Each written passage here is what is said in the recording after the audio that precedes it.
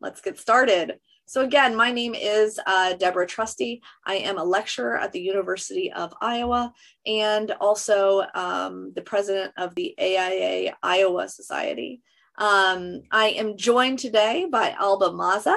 Dr. Mazza is a senior archaeologist um, with the U.S. Um, Defense um, POW and MIA accounting agency um, with the Henry M. Jackson Foundation. Um, and a little bit about Dr. Mazza. Uh, Alba Mazza is an underwater archaeologist with more than 18 years of fieldwork and experience in the Mediterranean.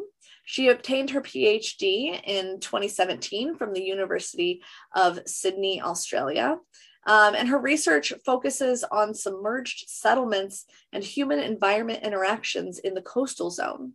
Her work also focuses on prehistoric seafaring and commercial navigation during the classical antiquity in Sicily, Italy.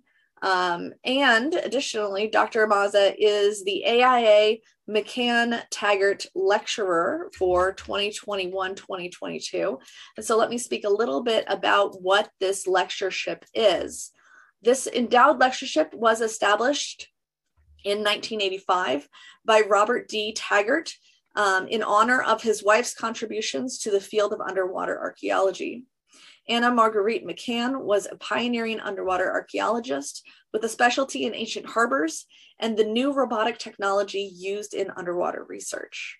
Her publication, The Roman Port and Fishery of Cosa, a center of ancient trade, was awarded the James R. Wiseman Book Award of the Archaeological Institute of America in 1989. And so the McCain, uh, McCann Taggart uh, lecturer is chosen by the Underwater Archaeology Interest Group and annually lectures to three local societies. We are one of those lucky societies. And so I will now turn this over to Dr. Mazza, who will take it all away. Go ahead. So thank you. Thank you, Deborah. And hello, everyone. Uh, before I get started, I would like to thank the Archaeological Institute of America for this extraordinary opportunity.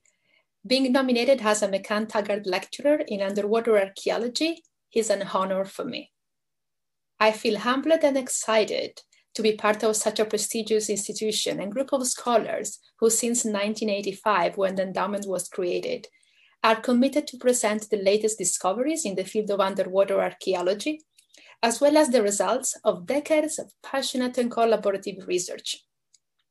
I would also like to thank the Iowa Society and especially Professor Deborah Trusty for a warm welcome and introduction. Thank you. And thank you everybody for being here today. I know, you know, I, I hope to that this could have been a, an in-person meeting, but uh, a Zoom lecture is also very nice and many people from different parts of the United States can join. So thank you everybody for your time and I'm glad to, to see so many people here today. I was very fortunate in my career as an underwater archaeologist. I work with very, a very diverse group of scholars and researchers from different fields and from different parts of the world. My interdisciplinary approach towards the study of ancient cultures and their maritime connection allowed me to collaborate with archaeologists, geoscientists, and historians, and many more. One of the scholars that I'm most grateful to is Professor Sebastiano Tusa, an underwater archaeologist, head of the Soprintendenza del Mare in Sicily, Italy, who unfortunately passed away in, 19, uh, in 2019. In today's presentation, titled Lost Landscape of Sicily, Italy, submerged cities and ancient shorelines from prehistory to the Roman world, I aim to illustrate the great variety of Sicilian maritime landscape with a focus on the human interaction with the natural environment over a long period of time. And now that I read the title of this presentation with you guys, I understand that it's a very ambitious subject to cover in less than one hour, but I hope that this summary will provide you with the sufficient information to be interested in the topic and you know, knowing more about this very interesting subject.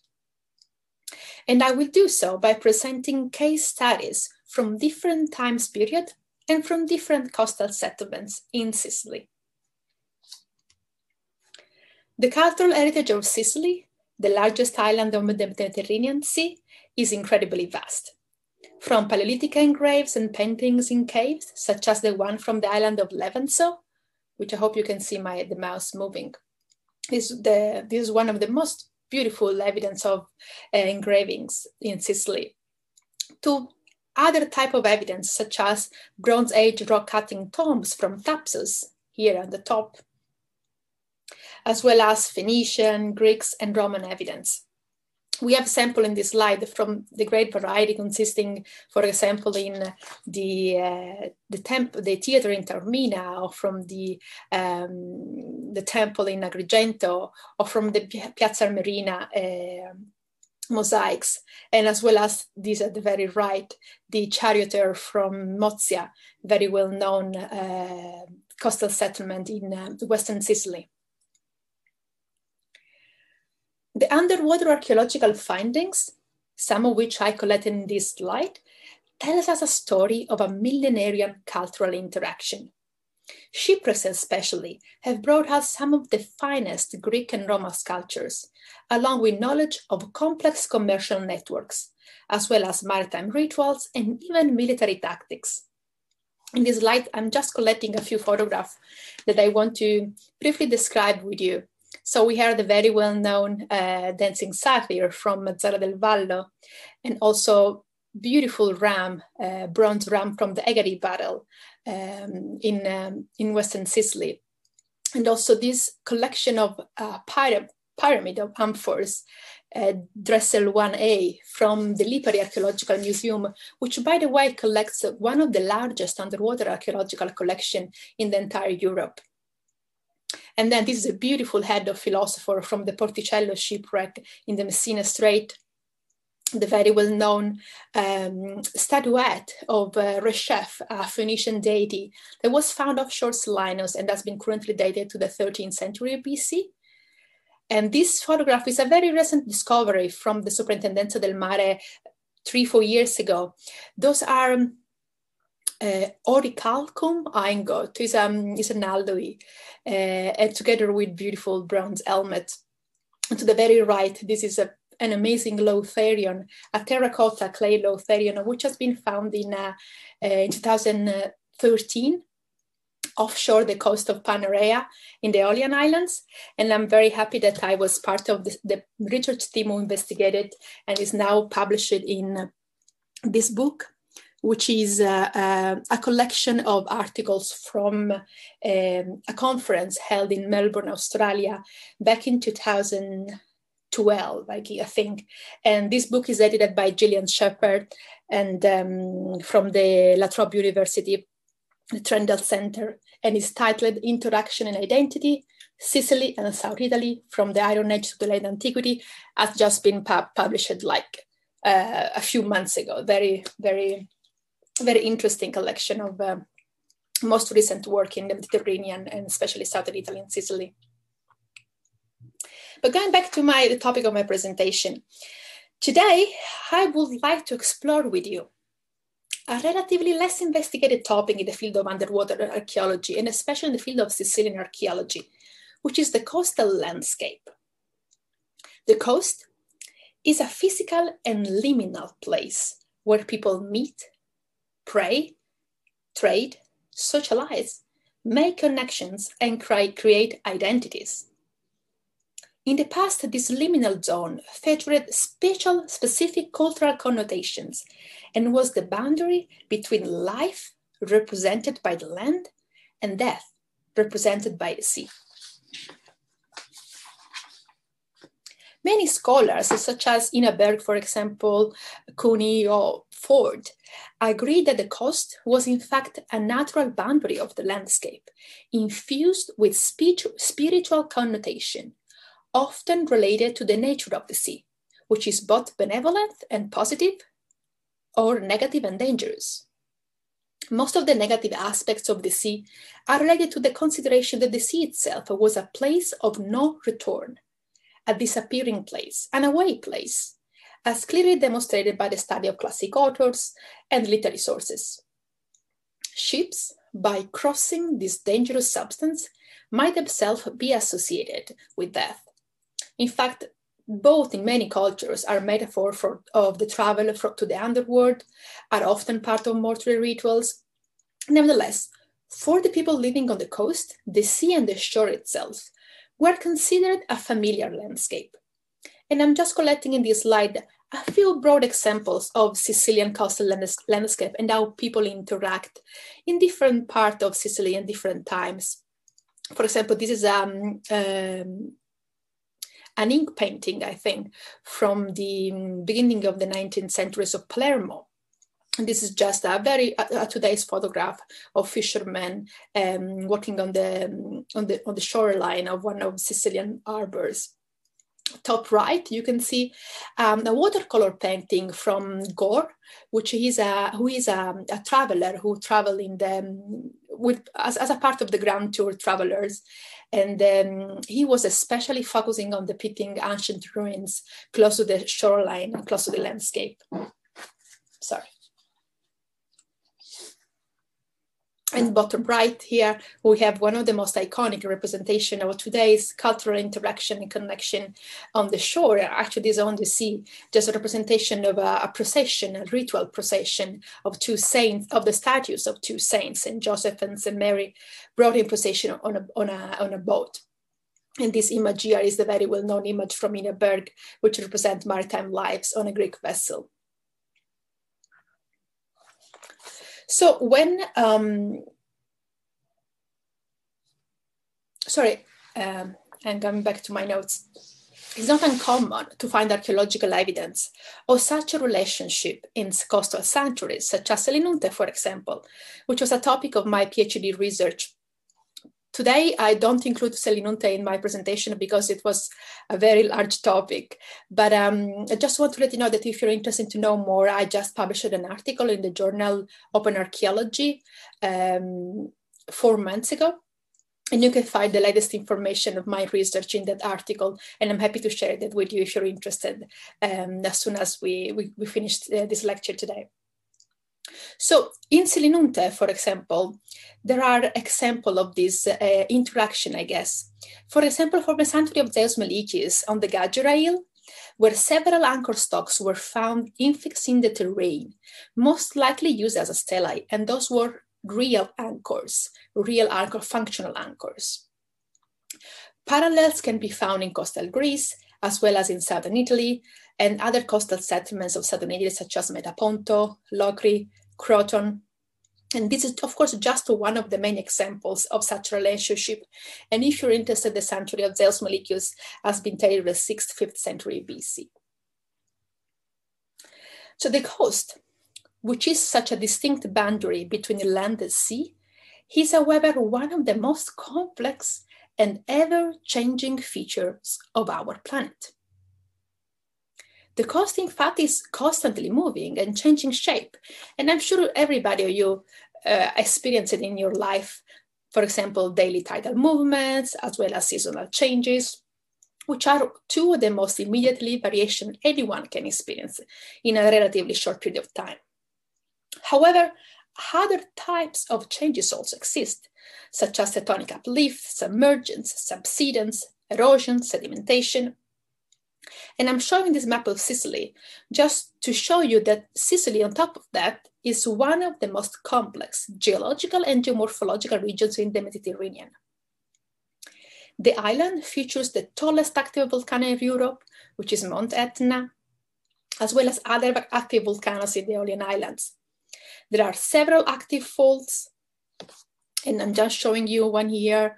There is one here which has been discovered very recently, which might be one of the causes for the um, recurrent earthquakes in the area of Selinus, which is located here. And other very diverse features, geology, geomorphology of Sicily. For example, Sicily itself is moving as an island towards the north as part of the movements of the African and Eurasian plateau. Of course, sub-regional movements are also present. Well, one of the most significant results of this movement, which is related to our investigation of the coastal today, of the coastal landscape, is the over, is the over time change of the shoreline position. As scientists are currently use the term paleo shoreline to describe the local the location of the shore in antiquity. And of course, this is not a geological and geomorphological lecture, but I thought I, just giving you this overview might, might be able to help you understand the great variety of the different coastal landscape that I will shortly describe. And I just want to start with very quick examples, one from the town of Palermo and one from the town of Catania at the right. For Palermo, for example, here we have the main city and on the north and on the south, two main rivers, and this was, was the, um, the, the, the topography of the city in antiquity. However, nowadays, and you can see this is like a big arbor basin and the two rivers flowing in the arbor basin. Nowadays, however, is totally different. As you know, Palermo is currently inhabited, has been inhabited for continuously for several millennia right now. And the, and the coast itself is heavily urbanized. So this is the current shape of the of today's shoreline and there is a major subst- substantial difference. So when we think about Phoenician, Rome, Greek, Roman people living, we have to completely change our approach on how they experience the sea, on how they experience the water, and it is very intuitive now to better to understand that the name of the city in, in the past Palermo, from the Greek panormos, which means the city with a huge, large harbor, harbor basin, is more likely connected to the ancient topography of the city. Makes, makes much more sense to think that this was an ancient harbor basin. And jumping to Catania, a completely different example. As you know, Catania is very close to the volcano Etna, which has been erupting uh, lava for several centuries now. And as you can see, this red portion of this image here indicates some of the most current lava eruption, which arrived close to the shoreline and in fact create additional shore. I don't know if you have experience visiting Catania. I strongly recommend it. It's beautiful city, great food.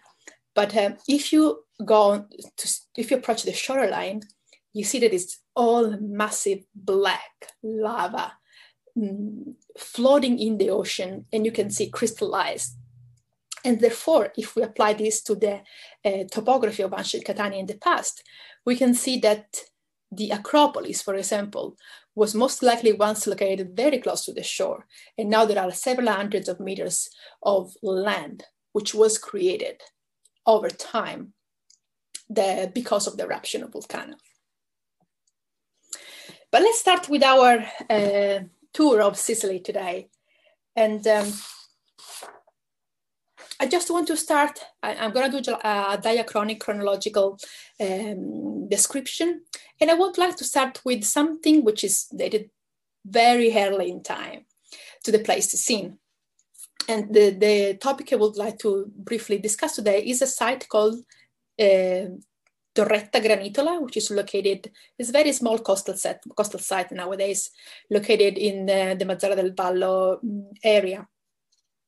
So it is hard to believe that the landscape that now we have in Sicily today, long time ago was really completely dramatically different.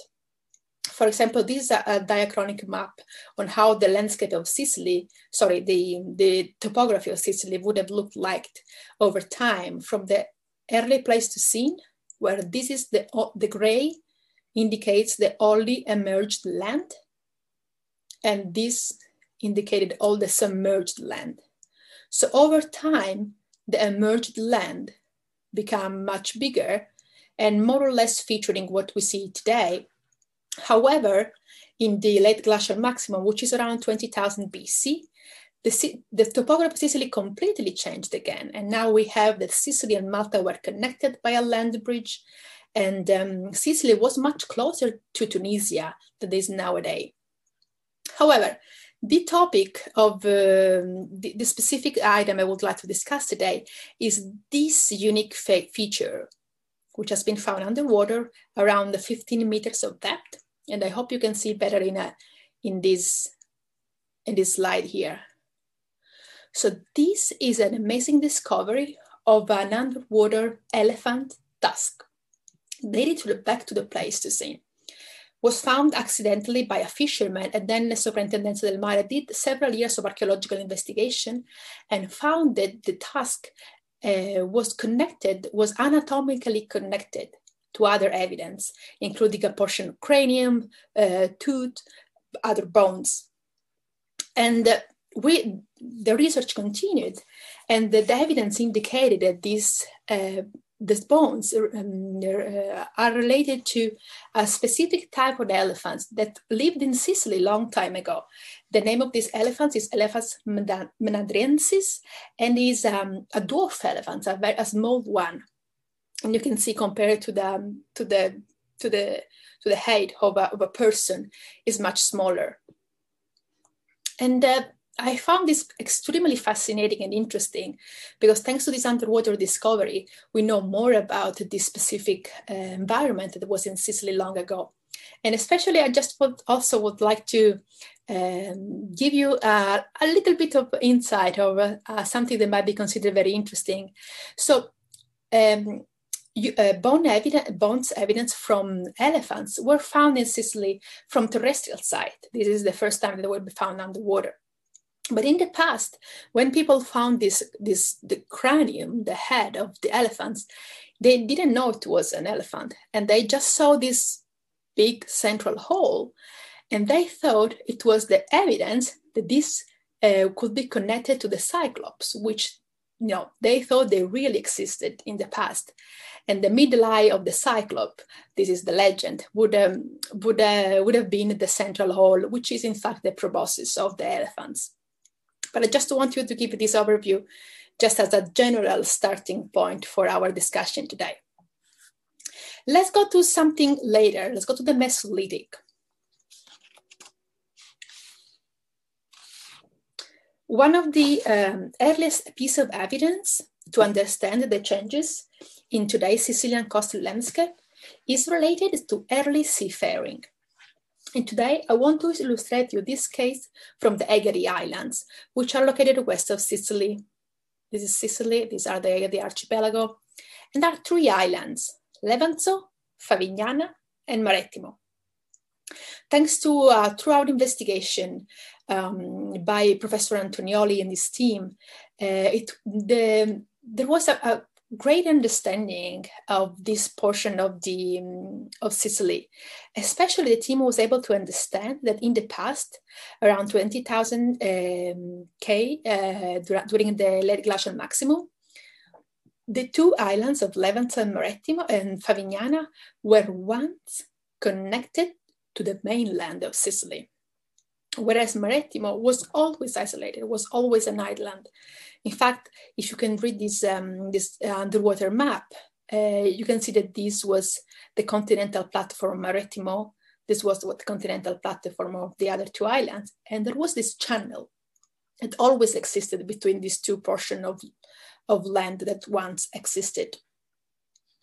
Well, the evidence presented in, uh, in, this, in this very recent article, I think 2019, indicates that um, specific evidence, for example, uh, deer tooths and, bo- and other bones and mollusks, were um, stored and located and found in stratigraphy inside a cave, which um, the evidence indicate that they were human collected, collected by humans and deposited in that cave. Therefore, um, the interpretation that the scholars have about this evidence is that in order for human to travel to Marettimo and be able to eventually create this archaeological deposit, they were in fact able to navigate these portions of land, which is um, estimated to be 1.8 kilometer long. And if you think that this is evidence is connected to uh, the Mesolithic, this is most likely is they suggest this might be one of the earliest evidence of seafaring, which is known to have started to, to, to have established it in, during the Neolithic. And uh, this is an incredible evidence. Of course, additional study has to will, will be done, but um, it's really exciting to know that thanks to the understanding of this underwater morphology is now be able to, we now be able to better understand sea, and pre, possibly predate seafaring uh, from Neolithic to Mesolithic. And again, uh, these are just a diachronic evolution of the of this portion of the archipelago, and the top bottom right is an evolution of the of the sea level and sea level change.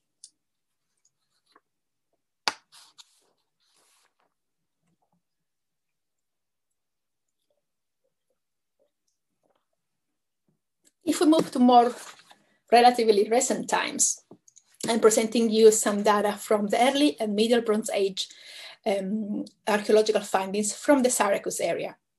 So I'm sure everybody are known, uh, well, know, known very well about Syracuse, the Greek temples, and I will discuss later another, about another site uh, dated to the Greek period. But to, right now, I want to focus on this um, evidence that comes from a specific feature, a specific uh, cultural feature for the early and middle Bronze Age, which is related to the Thapsos Pantalica culture, which is very well known for two main cultural features. Two, the two, two of the most important cultural features. One are these uh, rock cutting tombs uh, that are chamber tombs that were cut inside the, the natural rock and um, these beautiful spaces, was uh, shapes are specifically um, related to this uh, culture. And there are two sites located north and south of Syracuse I would like to talk to you today. The Magnisi Peninsula site and the Ognina site. So this is a terrestrial example of one of those burials, the rock, the rock cutting burials here and here. But uh, thanks to the study of um, Scicchitano and uh, his team, it was also it, it, was possible to study and understand that these features on the current shoreline are also uh, rock-cut necropolis uh, tombs related to that same period of time. And it is extraordinary for several reasons. The two most important reasons is that the the sacred landscape, the sacred necropolis landscape or ritual landscape that was once believed to be only limited to a specific portion of the Syracuse hinterland is now extended to a much broader portion. And if we think that nowadays there are circa 5,000 rock cut rock, uh, rock cutted tombs known, uh, by studying this evidence from the today's coastal landscape, we might find that there might be more and more. Second, this evidence, and this is just a photograph of a submerged chamber of one of those two tombs, um, indicate that these are extremely important markers to understand shoreline evolution, sea level changes, and coastal changes. In fact, thanks to the study of Scicchitano, um, the team was able to map the underwater seabed, and it is a multi-beam, um, an acoustic image of the seabed and we were able to detect the different changes in the shoreline over time. This is extremely interesting because not only um, Bronze Age sites can be better framed in their original landscape, but also later sites located in the close by shoreline. And I give you an example. This is the early Neolithic age shoreline. And this is the, the location of the settlement. However, in the early mid Bronze Age, water was much more present in the area and the shoreline was completely different. So if we think about early and mm, early Middle Bronze Age landscape, it was completely different than the one of the Neolithic people. So when we think about the, the shoreline evolution, also we think about how that means in terms of cultural interaction we see that the importance of this interdisciplinary study is, is critical for better to better understand the coastal landscape and the societies and cultures in the past and interaction too. And when we go to later time, the early the Byzantine basilica that's also been found, it is completely disconnected or almost disconnected by the mainland. Therefore, a completely different scenario, a completely different landscape. And it is really, really interesting. And uh, I forgot to mention that the tombs uh, of the early Middle Bronze Age are now located between one and three meters of depth.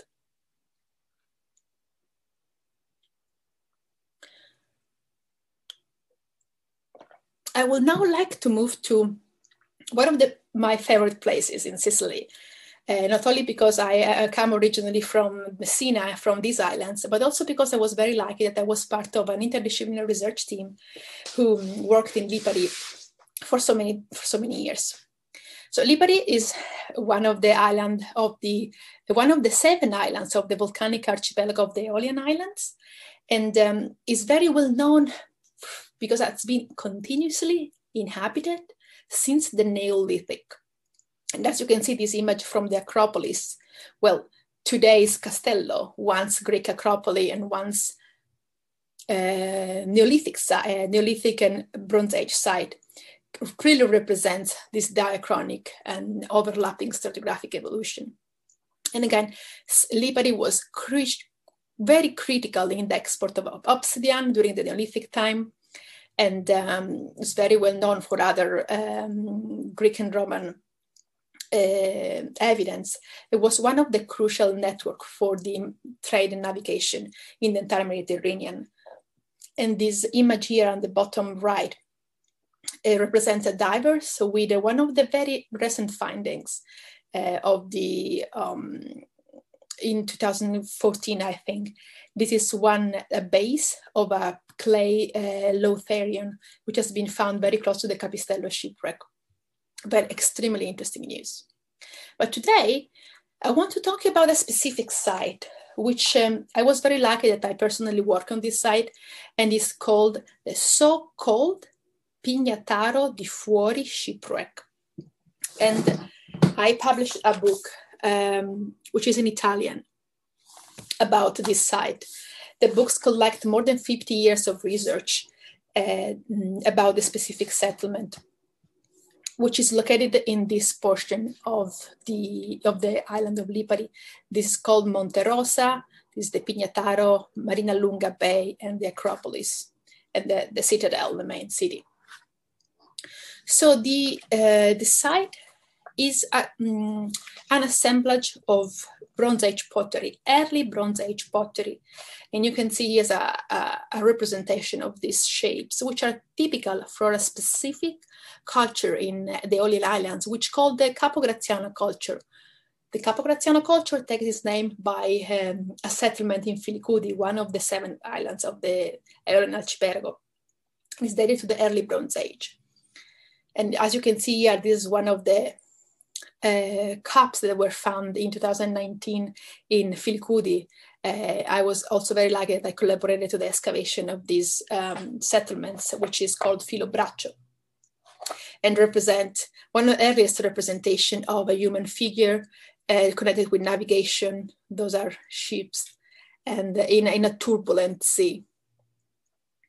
Anyway, the evidence that was found in this specific site in Lipari, Pignataro di Fuori, has been considered to be evidence of a shipwreck, even though no um, evidence of the ship were ever found. But if you think about, okay, this is a shipwreck from the early Bronze Age, so maybe it's, it's going to be very hard to find evidence of the of the of the hull or the vessel, the ship itself.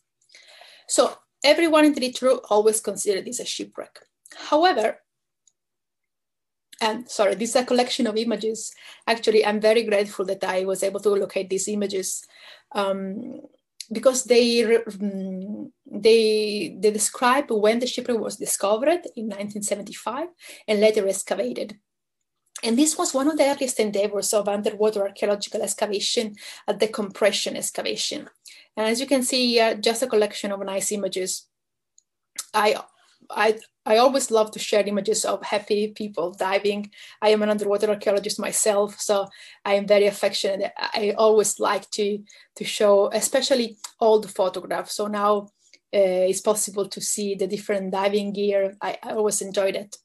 Interesting enough, I don't know if you can see this detail on this top right images. There is a diver here, which is smoking a cigarette close to um, a submarine, which is something you don't see uh, nowadays.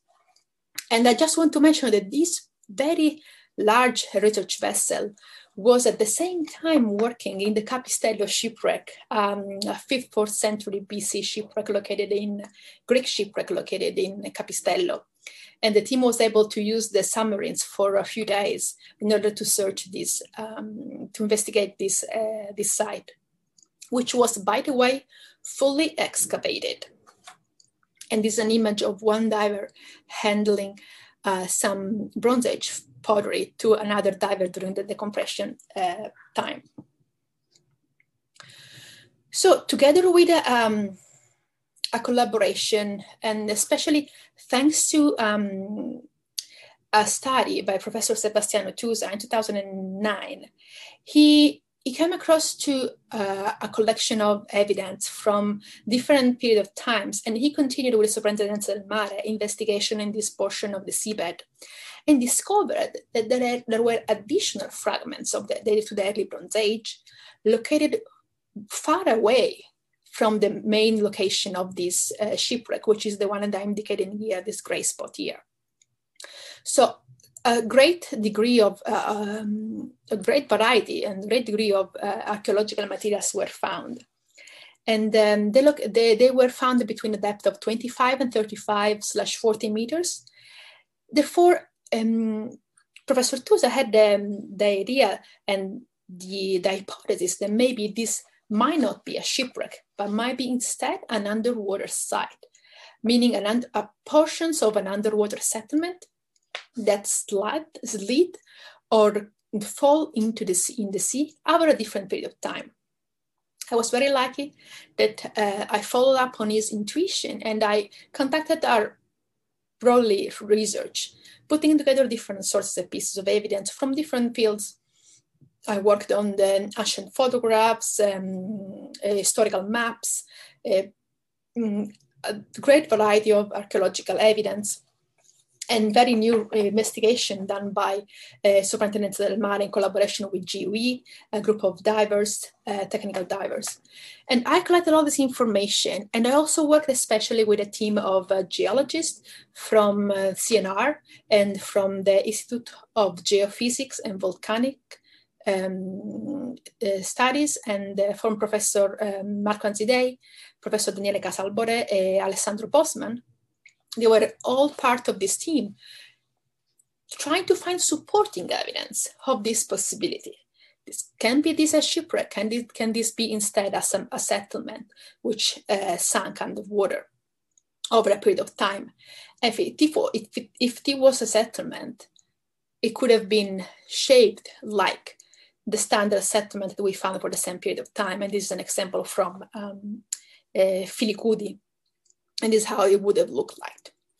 So geological research support archaeological evidence, meaning that it is likely, it is very likely that this might be um, that, that, that the Pignataro di Fuori shipwreck might be instead uh, the remains of what was a settlement that once um, um, slid or sank in the water. And supporting evidence comes from geology, geomorphology, and the study of the shoreline and the evolution of the shoreline. And uh, it, is, it has been proved that this was once a much larger portion of, of land, of shoreline, and possibly all of these shaded orange, yellow, and gray were, uh, were already seabed and this was the ancient shoreline of the um, early Bronze Age. Of course, additional investigation has to be carried in order to support with additional archaeological evidence uh, the full picture. I want to move to another side now, jumping to another side, uh, because I want to, the objective of my talk today is to show the great variety and the great, uh, and the different type of approach and studies and I hope I can, I can do that by providing additional evidence from different period of times. So now we are in Syracuse. You know, I've already discussed about Syracuse, but this is a, more, a much later evidence from the 6th and the 5th century BC. And this specific evidence is related to uh, ship sheds. So as you know, the Syracuse is currently inhabited and you can see heavily urbanized. But um, the, the coastal landscape of Syracuse was much different in the past. And we have substantial research that, that proves us and suggests and indicate the, the, the major changes were especially related to the coastal landscape, were happening in these portions and this portion. And it's very hard to, to, to have a complete, a complete understanding of the coastal landscape, especially in a urbanized site, because the only it's like you have like um, uh, a puzzle and then you have each single piece of the puzzle uh, once there is an archeolo- once there is for example a development project and then they have to dig in order to for example put the foundation of a buildings then there is a glimpse of what was uh, the city looking in the past and so collecting all those pieces of the puzzle uh, for diachronically help us understand how was Syracuse in the past. And over time, as, you, as we know from the Greek period to the Athenian expedition to a later period of time to uh, the Roman times, the city had different um, settings. But when it comes to the underwater, to the archaeological um, evidence, this evidence doesn't come from the underwater environment. It's a full terrestrial evidence, which is directly connected to maritime um, topic. And there, I'm talking about two, um, uh, two areas where uh, evidence of ship, sheds were found.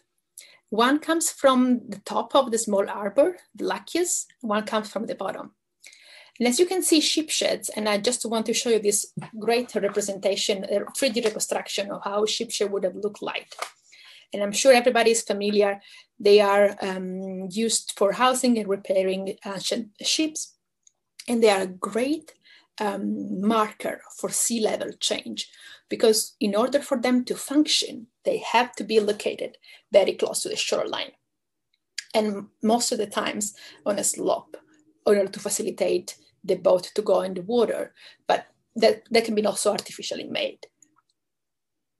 So the archaeological evidence of ship, of ship sheds consists on parallel, parallel walls with doors and connections. And uh, it is extremely uh, just, just amazing to see that, for example, in this image here, they were able to interpret, interpret these as ship sheds because of these very little portion of parallel walls.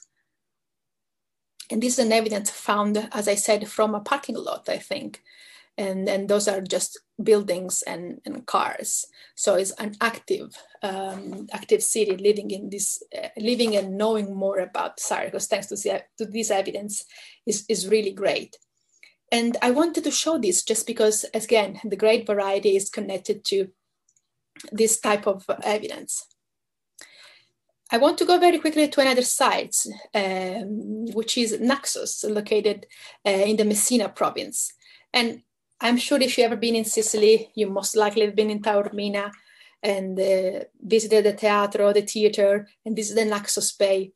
And again, this is top right is Naxos Bay. Really an amazing place to see. Great ice cream, great gelato. I strongly recommend you to visit. But when it comes to archaeological evidence, again, one of the critical archaeological evidence for shoreline changes and um, understanding the coastal landscape are also ship sheds which were located in north to the Agora. And by a study and uh, many years of research by Costanza Lentini. And this was a, the evidence where um, allowed us to, to, see, to detect the ancient shoreline, which is now located several hundreds meter inland than today's shoreline. Amazing, amazing discovery that helps understand that even for example for planning uh, when they, they built these buildings here, which are resorts, hotel, etc., they they were they built those not on top of the ancient city. They built those because if this was the shoreline, they would possibly build those on um, ancient harbor facilities, maybe, but not on the ancient cities. And so this evidence helped the archaeologists understand the urban topography about Naxos, which is an, an extraordinary data to understand uh, the, the evolution of a city itself. And I want to go back to the last case or two that I would like to discuss today. And this is Lipari. I'm just going back to Lipari for another uh, case, which is dated to the first fourth century AD and is located in today's commercial harbor. I also want to talk about this because not only was personally involved in this project, but also because it is one of the most extraordinary, examples of uh, um, interdisciplinary work um, and help us understand uh, sea level change, climate change, resilience, and uh, future coastal changes in Sicily, in Lipari. So this is um, the location of this site, which is currently between uh, 10 to 12 meters underwater, located right in the middle of the commercial and touristic harbor. So I did that underwater excavation here. It was not easy. The Coast Guard helped us a lot to, to help with a with a current uh, ongoing uh, boat traffic, which couldn't couldn't stop. And this site was discovered by accident. At the time I was in Lipari with Professor Tusa, just after a conference, we were just heading towards the, the Aliscafo, the, the ferry boat. And we will see this big dredge pulling things out of the bed, of the seabed. And among those, there were these gigantic blocks, carved blocks. So we decided, of course, Professor Tusa decided to block the activities and investigate it further. And the amazing discovery was that these blocks belonged to a group of other blocks located on the seabed.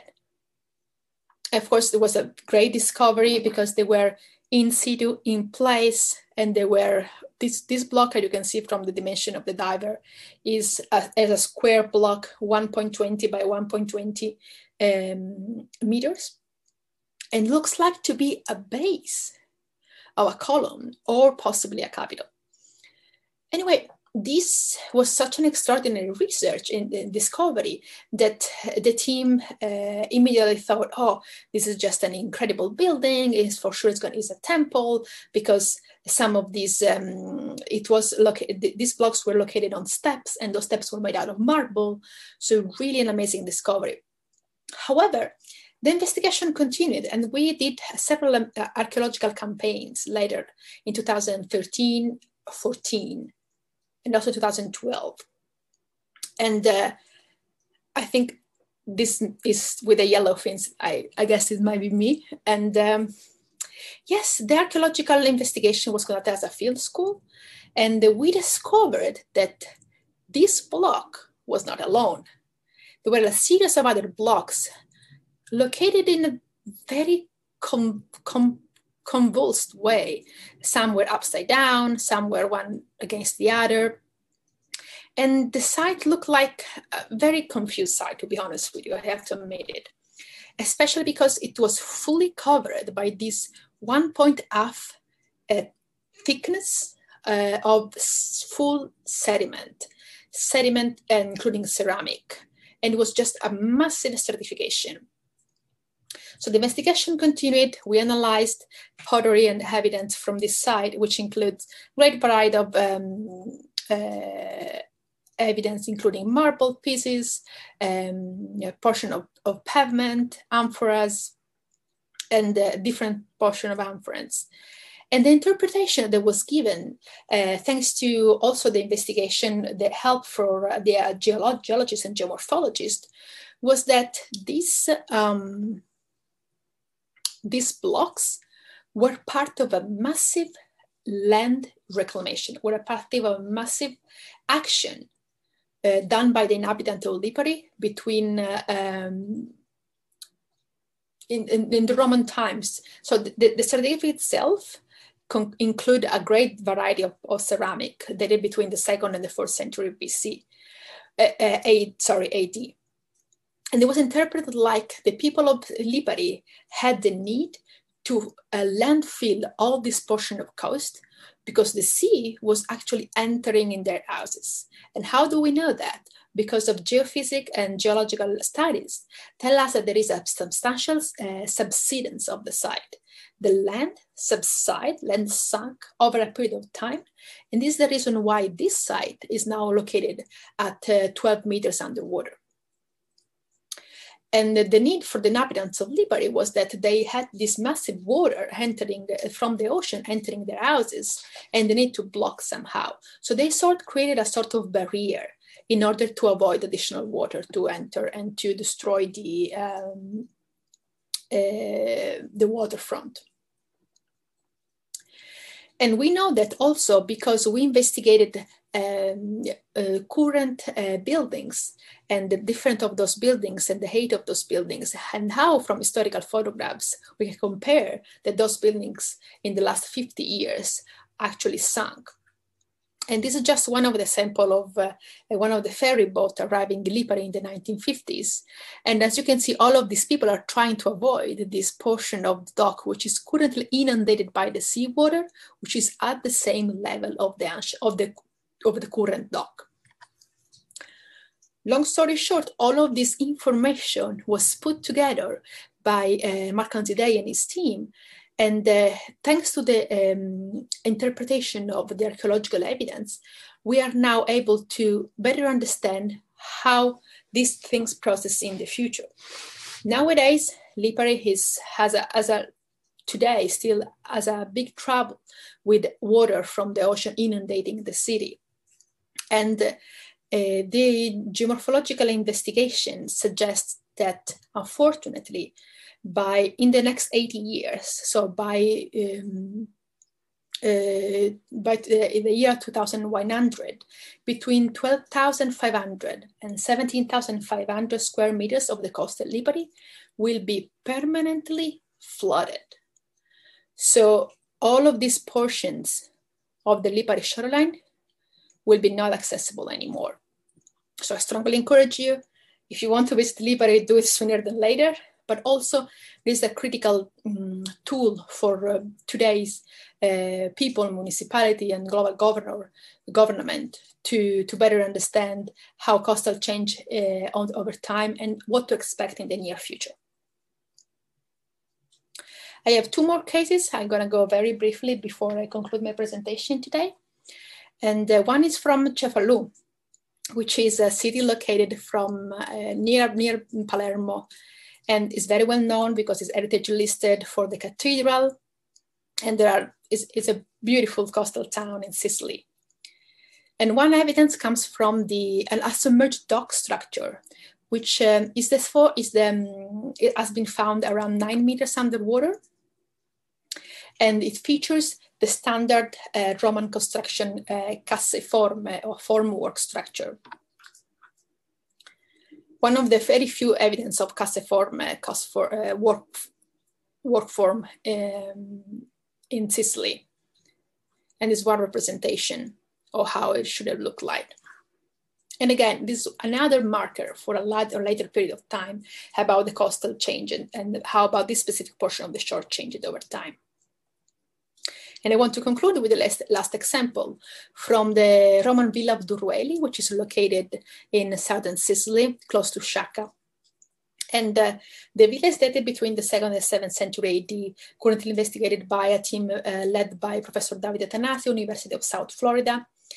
And it is one of the greatest places where to locate a, a villa, a Roman villa, I have to admit.